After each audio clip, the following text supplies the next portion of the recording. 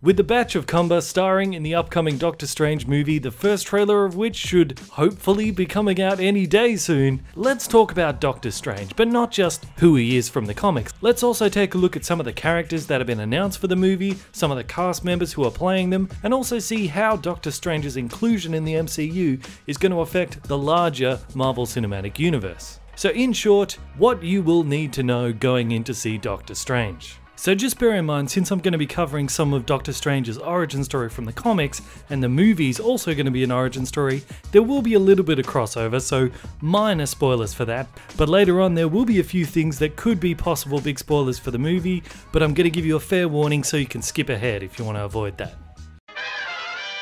Dr. Stephen Vincent Strange. He was a brilliant but egotistical and incredibly arrogant doctor who had a car accident that completely shattered his hands, making him unable to practice medicine anymore. Sort of like a, a young version of House, but with Mr. Burns' hands. So after the accident, Stephen Strange travels the world spending all of his fortune trying to find a cure so he can reclaim his profession. But the doctors are simply unable to rebuild the bones in his broken hands. Now it should be pointed out that this was an origin story that was written back in 1963, so perhaps back then the doctors might not have been able to repair broken hands, but today I'm sure they probably could. They can even do full hand transplants today. So it'll be interesting to see in this movie, which is set in modern times, what reason they're going to give as to why medicine can't help him. But as medicine does fail him, Stephen Strange continues to seek out more and more exotic forms of solutions to regain the use of his hands. This search eventually leads him to a strange old hermit in the Himalayas known as the Ancient One. Now, in the movie, this character is played by Tilda Swinton, so the character has changed from an elderly Tibetan man to a middle aged white woman.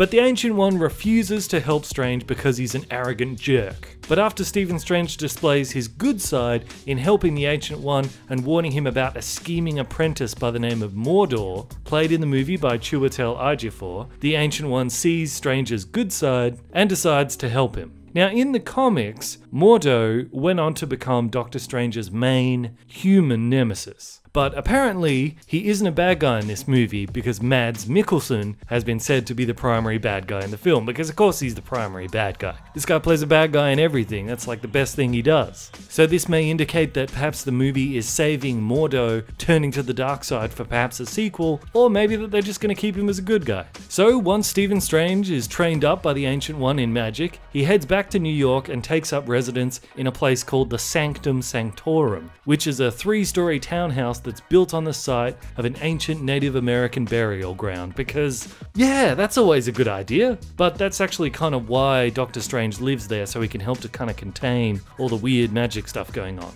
But the Sanctum Sanctorum is kind of like his Batcave. Yes, I'm using Batman to help describe something from the Marvel Universe. And the house is guarded by Doctor Strange's assistant, Wong, who is played in this movie by Benedict Wong, who also teaches Doctor Strange some martial arts. And no doubt Wong also looks after the house so that people don't just wander in and get sucked into a portal. But the Sanctum Sanctorum has had different redesigns in the comics over the years, but some of the pictures that have been released by Marvel.com show that it, it kind of has a bit more of a, a technological look to it. Perhaps this is related to how in the MCU the magic that Thor uses is said to be science that is so advanced that it's indistinguishable from magic. So perhaps this techno vibe from the Sanctorum indicates that they're going to continue this line of thinking with Doctor Strange's magic, saying that it's not so much magic, it's just super advanced science. Personally, I hope they're not doing that, because magic is Doctor Strange's whole thing. He's the Sorcerer Supreme, he's not the Scientist Supreme, so he needs to have proper magic. But a fun fact the address that the comics give for the Sanctum Sanctorum is given as 177A Bleecker Street, Greenwich Village, New York City, which is a real address. But in real life, it's apparently just a tattoo parlor. So if in this movie there's like a weird scene where Doctor Strange is in a tattoo parlor or he's standing outside of a tattoo parlor, that might actually be a subtle nod towards the real Sanctum Sanctorum in real life. Now, certain actors are uncredited at the moment, which leads me to believe that their identities are going to be big reveals in the movie, which is why they've been left as uncredited. But we can still take a pretty educated guess as to who they are. Now, I'm going to put up a spoiler alert because this could potentially ruin what might be a reveal in the movie if I'm right. So if you want to skip over it, just click on the annotation here on the screen or the timecode down in the description below. But if you don't mind or if you already know from the comics, then go right ahead and stick around. Okay? Everyone good?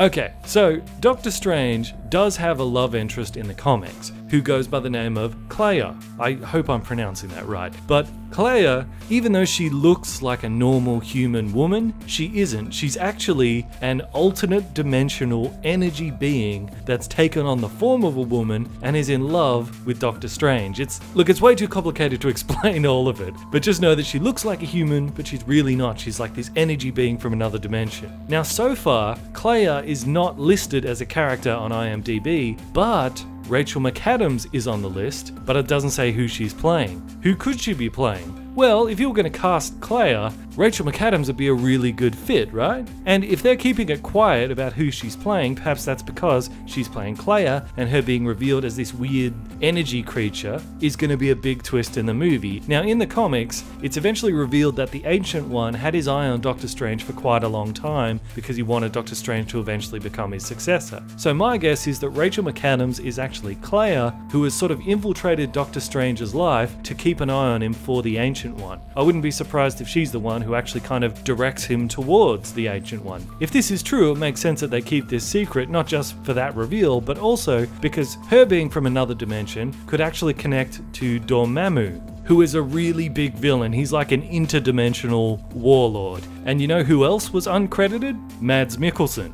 Yeah, the guy that they said would be the main villain in this, but is not named. Because if you reveal one, you reveal the other. So I think Rachel McAdams is Clea, and she's going to tell Doctor Strange about the threat of Dormammu, but they're keeping both of their characters' identities secret because one reveal leads to the other. And I think that Mordo will probably be upset that Doctor Strange has kind of replaced him as the Ancient One student, so he's going to make an alliance with Dormammu to like get revenge. But there is going to be not one but two end credit scenes, so I bet somewhere in those end credit scenes we'll either get a reveal for one of these two or a teaser for Mordo turning evil in the sequel. So Doctor Strange, he's the Sorcerer Supreme, he's the primary protector of Earth against magical and mystical threats. Like if the Earth gets invaded by aliens, you would want to call the Avengers, but if it's a magical threat, don't call the Avengers, call Doctor Strange. He's the one you want to deal with. He's also been described in the comics as more powerful by far than any of your fellow humanoids, which when you think about it, that means he's actually more powerful than the Hulk, because the Hulk's a humanoid, in addition to all of his magic, he also has magical based items like the Cloak of Levitation, which allows him to fly, and the Orb of Agamotto, which we did see in Odin's Vault in the first Thor movie. But some people have pointed out that the necklace that Benedict Cumberbatch is wearing in this picture does actually look very similar to the Orb of Agamotto. So whether they've retconned this one and just changed it to this necklace, or whether it's just a coincidence, we'll have to wait and see. But since the orb shows threats to the Earth, whatever they are, wherever they are, I wonder if at some point in the movie Doctor Strange is going to look into it and actually see Thanos, because we know he's a threat to the Earth. Speaking of which, as we all know from the MCU, Thanos is trying to collect all the Infinity Gems, or stones as they're called in the movies. In the comics, Strange has possession of the Soul Gem, but in the cinematic universe, the Soul Gem is actually the one that's in Vision's head. So they might intend to give Doctor Strange other gems at some point, or inevitably Thanos is going to show up and actually rip that gem out of Vision's head, killing him in the process, by the way, in order to get it. And at that point, Strange is probably going to reclaim the Soul Gem and put it under his protection, probably after Thanos is defeated in the Infinity Wars. So as you can see, the Batch of Cumber is going to become a major player in the larger MCU in the future,